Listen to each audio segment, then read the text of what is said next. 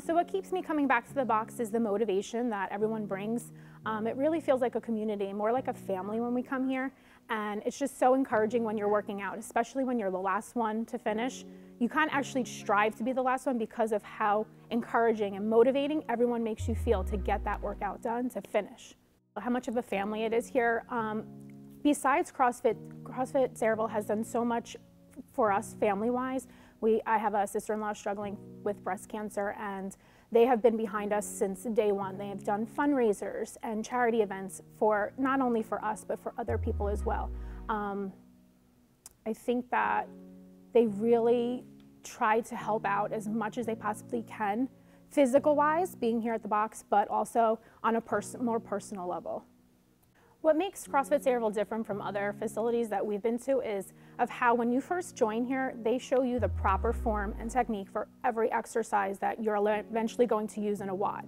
Um, before coming here, I didn't know I was doing squats or wall balls completely wrong. Um, so when I got here, I was a little shocked, and I'm glad that they take that time to show you how to properly perform each skill. Um, I think that's one of the things that actually got me to stay here was that they actually cared about how you worked out and want to see you improve each time you come here. I was looking for something different. I was a, a gymnast for over 10 years and I'm used to sort of those kinds of workouts that really get your body moving, things that show your strength and cardio.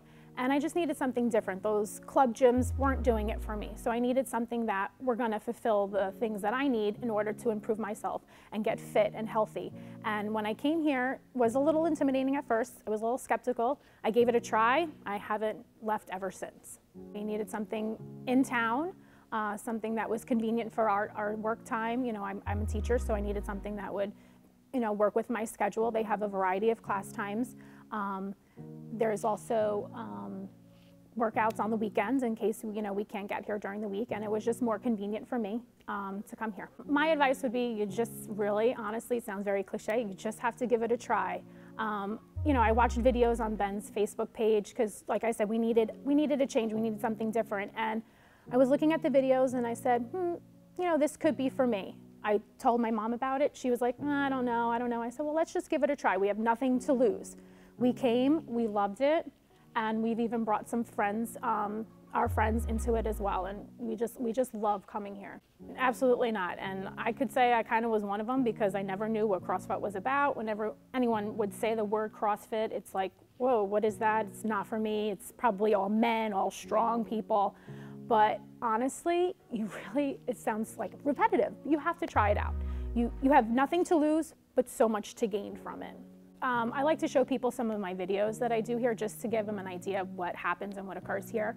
But I would also like them to actually come and try it out. It's, it really, you need to see and feel for it for yourself before you can judge anything. And I think that's what a lot of people need to take on that because when they hear that word, they are already very standoff, standoffish and they are intimidated. But when you come here, it's, it has nothing to do with what they think it is. It is a place to work out. It is a place to have fun. It is a place to get stronger. It is a place to motivate and encourage each other. And I think that's what Sayreville CrossFit does. It's also for a place to just come and hang out. We, you know, we do outside events. We do holiday parties. We do more than just working out. It is a family. And I think a lot of people should just try it out and see for it for themselves before they judge anything. I think my mom and I have always been very close. Uh, we don't have sisters, so as I've gotten older, I feel like we've become more like sisters than a mother and daughter. And she loves hearing that people think she is my sister, um, even though she thinks I, I, don't like it, but I love it. Um, but, you know, since I've been married almost seven years, I'm not at the home physically. We talk every day, several times a day. But when we come here, it's a time for us to be together, a time for us to share a passion that we both have. We both want to be fit and healthy, and why not share that passion together? It's great that I have someone like that to support me because there are times where I'm like, oh, I don't really feel like going today, or uh, I don't really feel like running or doing burpees. No, no, Amanda, let's go, let's go. And when we're done, she goes, Aren't you glad we came? And my answer is always is yes.